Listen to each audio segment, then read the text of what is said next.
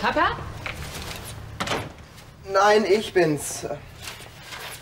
Oh, Paul, bitte nicht mit den Schuhen auf dem Boden. Ich habe hier gerade gewischt. Draußen hat's geregnet. Ach was.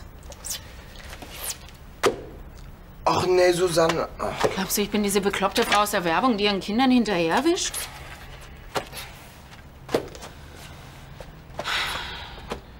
Was habe ich denn jetzt schon wieder falsch gemacht?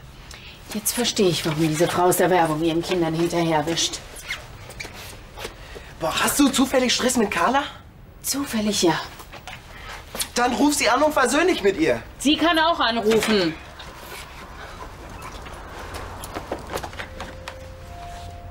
Warum ruft sie nicht an? Weil es besser ist, das persönlich zu klären. Gute Idee. Ich bin ausgezogen. Ich halte es auf dem Schloss einfach nicht mehr aus. Susanne, wir dürfen uns von dem ganzen Stress momentan einfach nicht verrückt machen lassen.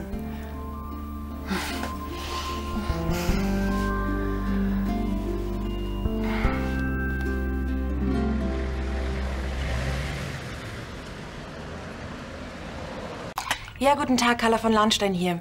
Sagen Sie, hätten Sie für die nächsten 14 Tage noch was frei? Ja, ich warte. Mit wem telefonierst du eigentlich? Mit dem Kurfürstenhotel. Ich muss doch irgendwo übernachten. Ja, natürlich bin ich noch dran. Hören Sie, das hat sich erledigt. Vielen Dank. Wiederhören. Solange wir nichts Eigenes haben, schläfst du selbstverständlich hier. Auf den Gedanken bin ich noch gar nicht gekommen. So können wir endlich zusammen wohnen. Und ganz abgesehen davon, vielleicht bekommst du ja bald unser Kind. Spätestens dann wird es Zeit, dass wir uns eine eigene Wohnung suchen. Und bis dahin hier mit deinen Kindern unter einem Dach. Ja? Was sagt dein Vater dazu? Was sollte er dagegen haben? Deutlicher kannst du ihm gar nicht zeigen, dass du auf seiner Seite bist, Wir sollten ihn unbedingt vorher fragen. wenn er von der Arbeit zurück ist. Er arbeitet wieder. Ja, seit heute. Hoffentlich findet er so wieder in seinen alten Rhythmus. Hoffentlich. Hätte ich Konstantins Geburtstag nicht vergessen, wäre die Lage nie so eskaliert. Im Grunde richten sich ihre Vorwürfe nicht gegen dich, sondern ausschließlich gegen mich. Also wenn Carla droht, das Schloss zu verlassen, sobald ich einziehe, dann hat das auch was mit mir zu tun. Nur bedingt, Elisabeth. Ich bleibe weiterhin in der Pension. Aber wieso? Jetzt kannst du doch auf jeden Fall nach Königsbrunn ziehen. Bis auf Leonhard sind doch alle ausgezogen. Er ist der Einzige, der zu dir hält, nicht? Ihn habe ich auch nicht so verletzt wie Konstantin. Konstantin muss wirklich denken, dass ich ein Rabenvater bin. Geh zu ihm. Überzeug ihn vom Gegenteil. Zeig ihm deine Liebe. Und wenn du Hilfe brauchst, ich bin da. Ist dir denn schon manchmal schlecht oder hast du unheimlich Lust auf Nein. ganz schräge Nein. Sachen? Aber wenn es dich beruhigt, ich wollte heute sowieso noch in die Apotheke. Und dann kann ich mir auch gleich einen Test kaufen. Hoffentlich ist er positiv. Du kannst es kaum noch erwarten, was? Du nicht? Endlich ein Kind zusammen. Och, muss Liebe schön sein. Schuhe ausziehen. Ja. Immer so? Ja, sie ist immer so. Herzlichen Glückwunsch übrigens. Danke. Paul, wir haben eine neue Mitbewohnerin. Na, das ist doch super. Dann könnt ihr in Zukunft zu zweit das Haus putzen. Hast du das gehört? Schade, dass er nicht mehr in mich verliebt ist. Da war er nicht so frech. Du ziehst den Auszug also durch. Na klar, wieso sollte ich meine Meinung ändern? Und mit meiner Gattin zusammenziehen hat doch auch was. Wollen wir was einkaufen und für meinen Vater kochen? Ja, dann wird er sich bestimmt freuen. Carla, bitte. Ja? Herr Brandner macht im Moment viel durch. Deine Küche würde ihm den Rest geben. Kaum 18 und schon eine große Klappe. Mach dir nichts draus. Solche Sprüche höre ich von Paul jeden Tag. Tschüss. Tschüss. Tschüss. Super cool, die beiden. Manchmal hat Susanne einen kompletten Schuss, aber so insgesamt. Also vielleicht. Also ein paar Tage hier wohnen wäre vielleicht ganz cool. Ja, mein Angebot steht. Ich weiß nur nicht, was ich machen soll. Das kann ich verstehen.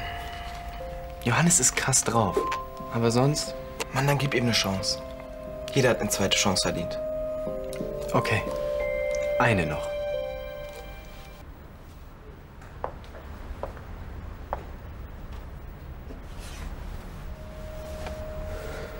Als Elisabeth Johannes geküsst hat, da habe ich ihr direkt gesagt, sie soll die Karten offen auf den Tisch legen.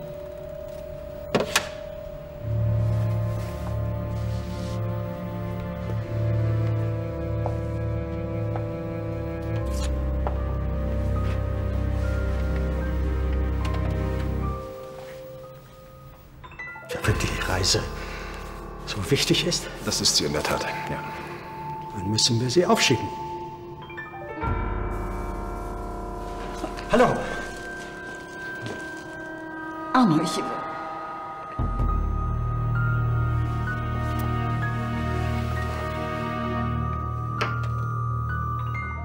ich glaube, Sie verheimlicht mir etwas, etwas, etwas Wichtiges. Ich, ich weiß nicht.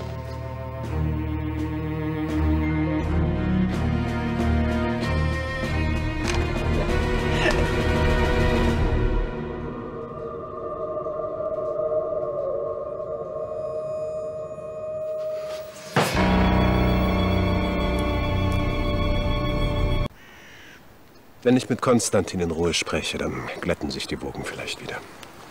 Ja, Der Junge ist halt sehr impulsiv. Bei ihm spürt man die italienische Mutter besonders deutlich. willst du gleich mit ihm sprechen? Soll ich mitkommen? Oh, das wäre schön. Was würde ich nur ohne dich machen? Oh, du würdest heute Abend ganz alleine bei einem Gläschen Rotwein vor deinem Kamin sitzen. Eine entsetzliche Vorstellung. Ja, dann müssen wir was dagegen tun. So, was schlägst du denn vor? Also, wenn noch ein Plätzchen frei ist am Kamin, Für dich? ja. Immer.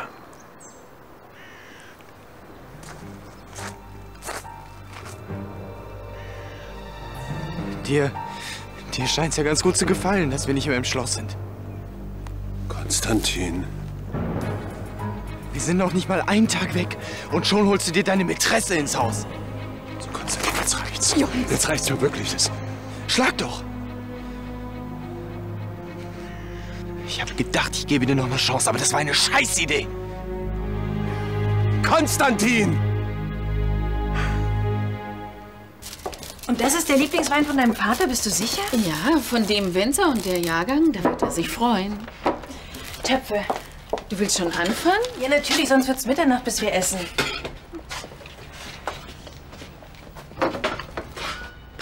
Du bist schon zurück? Wie war dein Tag? Was will Carla hier? Äh, Wir kochen. Ein kleines Begrüßungsessen. Raus.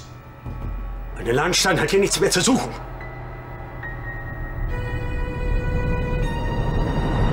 Es tut mir leid.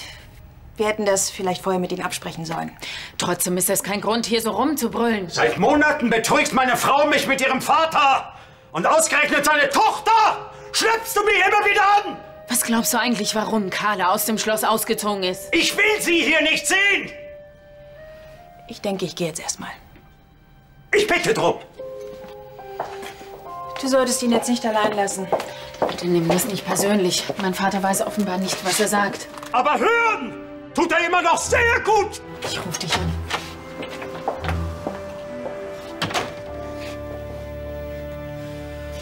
Konstantin, du hast das völlig falsch verstanden. Elisabeth ist nicht hier eingezogen. Das stimmt. Das Letzte, was ich will, ist mich zwischen euch zu drängen. Hörst du? Na und? Dann ist sie ihm nicht heute eingezogen. Früher oder später machst du aber sowieso, was du willst. Wir sind dir egal. Das ist doch nicht wahr, Konstantin. Wer hat denn gesagt, dass sie sowieso bei uns einzieht? Ganz egal, was wir sagen. Erwartest du, dass ich meine Liebe verleugne oder was? Nein, nein. Von dir erwarte ich gar nichts mehr. Konstantin. Du willst mein Vater sein. Das hast du doch die ganze Zeit nur geheuchelt. Bitte, Konstantin, ihr bleibt doch eine Familie. Dein Vater liebt dich. Oh Gott, wie oft habe ich das jetzt schon gehört?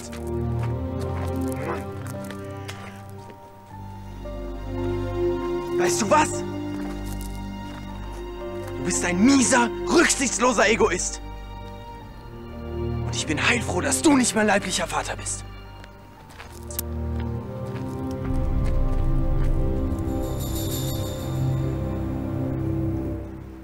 Gib mir den Fleischklopfer und lass uns reden. Das Essen macht sich nicht von allein. Na gut, dann hör wenigstens zu. Carla ist auf deiner Seite. Sie ist von zu Hause überhaupt nur ausgezogen, weil sie es unmöglich findet, was Johannes und Elisabeth da abziehen. Trotzdem will ich sie hier nicht mehr sehen. Was ist denn hier los? Papa hat Carla rausgeschmissen. Das kannst du doch nicht machen. Mama und Carla sind verheiratet. Ehe! Als ob das heutzutage noch irgendetwas bedeutet. Wir lieben uns. Und wir wollen ein Kind zusammen. Erwartet ihr allen Ernstes, dass ich dieses Kind akzeptieren werde? Weder Carla noch unser Baby können irgendetwas dafür, dass Johannes... Mir die Hörner aufgesetzt hat. Sprich's doch ruhig aus. Papa, wir verstehen ja alle, dass du verletzt und wütend Dann bist. begreift endlich, dass ihr zu akzeptieren habt, dass ich mit den Lahnsteins nichts mehr zu tun haben will. Aber wenn du noch mal in Ruhe über alles Du nachdenkst... solltest lieber in Ruhe darüber nachdenken, zu wem du gehörst. Bist du eine Brandner oder eine Lahnstein? Beides geht nämlich nicht. Nicht mehr. Was soll das heißen? Wenn dir so viel an Carla liegt, dann geh zu Carla. Geh zu deiner Frau. Und ich verspreche dir, ich halte dich nicht auf. Wieder weggedrückt? Wenn ich bloß wüsste, was ich Nico getan habe. Hey Gregor, hast du noch ein Zimmer? Nee, wir sind komplett ausgebucht. Tut mir leid. Auch das noch. Nico? Du bist es. Und? Hallo, Paul. Äh, Du hier? Warst du bei Anne? Und? Hat dein Vater noch ein äh, Notgeschenk organisiert gekriegt? Der, der denkt sowieso nur an sich. Elisabeth ist auf dem Schloss und die beiden küssen sich in aller Öffentlichkeit. Oh Mann, der arme Arne. Und ich, Esel, hab Elisabeth noch geglaubt, da läuft nichts. Wie? Geglaubt? Du wusstest das? Naja, nicht, nicht direkt. Ich, ich habe nur einen blöden Witz gemacht, als Elisabeth bei unserem Grillfest so einen Riesenfass wegen des Grafen aufgemacht. Warum hast du mir das nicht erzählt? Ich konnte doch nicht wissen, dass ich mitten in Schwarze getroffen habe. Wir hätten das alles noch verhindern können, Mann! Gegen die Liebe kannst du nichts ausrichten. Und Elisabeth hat sich das bestimmt nicht leicht gemacht. Mann, ich fass es nicht. Jetzt fängst du auch schon damit an. Ich kann ja verstehen, dass dein Vater völlig durch den Wind ist. Aber hast du ihm denn nicht gesagt, dass ich mit meinem Vater fertig bin? In einer Tour. Aber er hört ja nicht zu. Du machst dir ernsthaft Sorgen um ihn. Ich habe ihn so noch nie gesehen. Das wird schon wieder. Ich habe mich so darauf gefreut, dass wir endlich zusammenleben können. Das hier ist doch nur eine Übergangslösung. Aber ich will bei dir sein. Vielleicht bist du ja schon schwanger. Hat sich denn die ganze Welt gegen uns verschworen? Wir können jederzeit zusammenziehen. Wenn du willst, dann rufe ich gleich morgen früh unseren Makler an. Ich kann jetzt nicht mit den Kindern ausziehen und Papa alleine lassen. Ja, natürlich nicht sofort. Carla, ich kann ihn nicht im Stich lassen. Ich will dich auch gar nicht drängen. Du bleibst bei deinem Vater, solange er dich braucht. Wir können uns ja trotzdem immer sehen. Hoffentlich. So, und jetzt entspannst du dich erstmal. Ich lasse dir jetzt eine Wanne ein und dann lasse ich uns eine Kleinigkeit kommen. Und du wirst sehen, wenn du heute Abend zu Hause bist, sieht die Welt schon wieder ganz anders aus. Carla, ich kann nicht bleiben. Nicht mal ein Stündchen? Ich hätte keine ruhige Minute. Du bist mir nicht böse. Nein, natürlich nicht. Deine Familie hat jetzt Priorität. Es tut mir leid. Das muss es nicht. Kriege ich noch einen Abschiedskuss? Klar.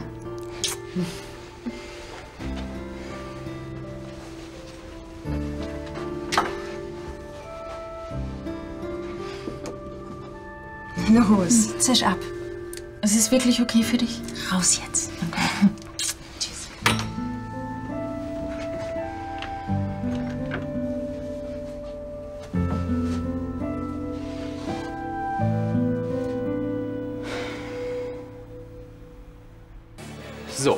Und jetzt erklär mir mal bitte, warum du mir nichts von Johannes und Elisabeth gesagt hast. Mann, ich hab Elisabeth geglaubt. Hätte ich damit hausieren gehen sollen. Hausieren gehen. Vielen Dank, bester Freund. Hättest du rechtzeitig was gesagt, dann würden wir beide jetzt nicht in zerrütteten Familien leben. So, jetzt reicht's. Geburtstag hin oder her, aber den Müll höre ich mir nicht länger an. Dann hau ab. Ja, gute Idee.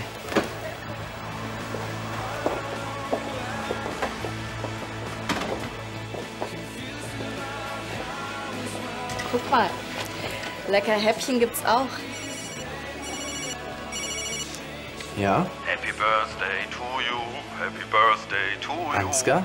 Ja, freut mich, dass mein Lieblingsbruder meine Stimme noch erkennt. Bist du etwa aus dem Knast raus? Leider nein. Ja, aber, aber ich dachte, in der U-Haft darf man nicht telefonieren. Ey, wo ein Will ist, ist auch ein Weg. Denkst du etwa, ich lasse es mir nehmen, dir zu deinem 18. zu gratulieren?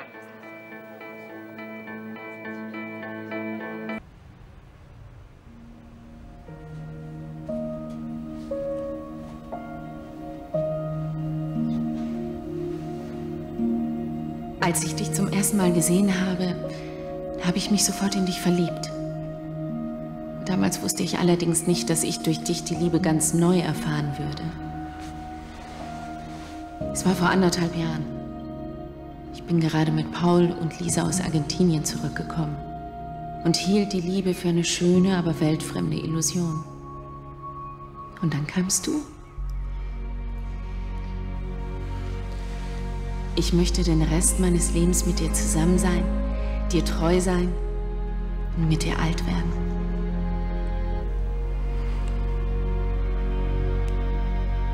Ich hatte das Liebste verloren und alles schien so sinnlos zu sein. Ich kam mit meinem Leben zurecht, aber ich hatte das Gefühl, alles gelebt und hinter mir zu haben, bis ich dich traf. Sag mal, träumst du? Entschuldigung, ich war wirklich einen Moment in Gedanken. Was hast du gesagt? Dass ich Johannes und Elisabeth erwürgen könnte. Jetzt habe ich mich auch noch mit Konstantin verkracht und das an seinem Geburtstag. Das tut mir leid. Ich hab sowas von satt. Was können wir dazu, wenn die beiden sich nicht beherrschen können?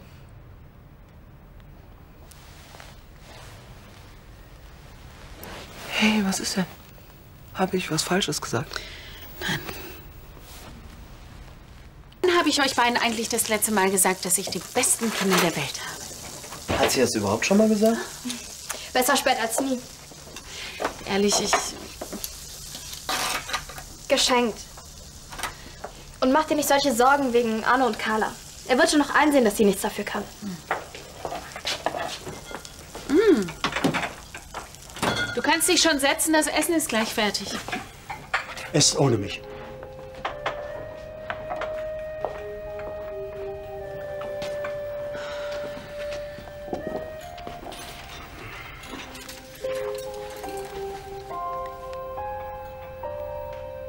Du musst da nicht alleine durch. Wir sind eine Familie.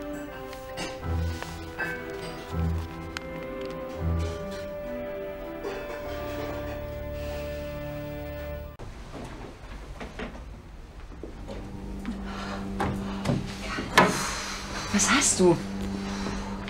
Hey. Soll ich einen Arzt rufen? Ich habe mich wahrscheinlich einfach nur zu schnell gebückt.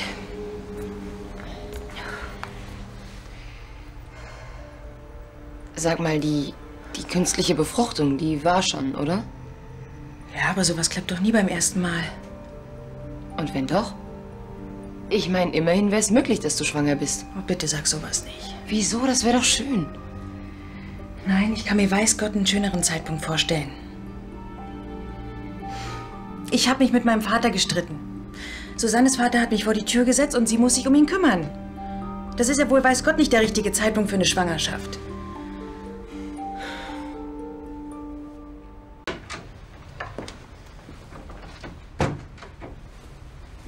Was mache ich denn, wenn ich wirklich schwanger bin? Ausgerechnet jetzt. Ja, dann hast du etwas, worauf du dich freuen kannst. Hey, gemeinsam mit Susanne schaffst du das. Hm? Dann seid ihr eine richtig kleine Familie. Oh, oh, ich glaube, da tut sich was. Zeig her. Nein, guck du. Wirklich? Ja, mach schon.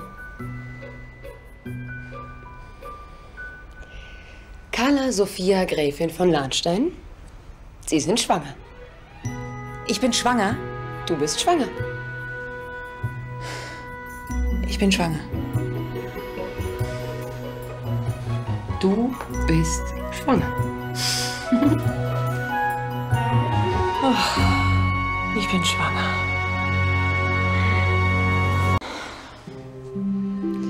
Völlig eindeutig. Du bist schwanger. Ausgerechnet ich. Kannst du dir das vorstellen? Ja, sehr gut sogar. Ich muss sofort zu Susanne. Das geht ja nicht. Ich habe Hausverbot. Das ist ja jetzt wohl mal eine Ausnahme. Du kennst Susannes Vater nicht. Er kann dich doch nicht für die Fehler deines Vaters bestrafen. Doch. Ich kann ihn ja auch verstehen, den Ärmsten. Und auch Susanne, dass sie ihn nicht alleine lassen kann. Carla, ihr müsst euch doch trotzdem noch sehen können. Das ist im Moment leider schwierig. Und den Test, den wollten wir eigentlich auch zusammen machen. Tja, Naja, immerhin gibt's ja noch Telefon.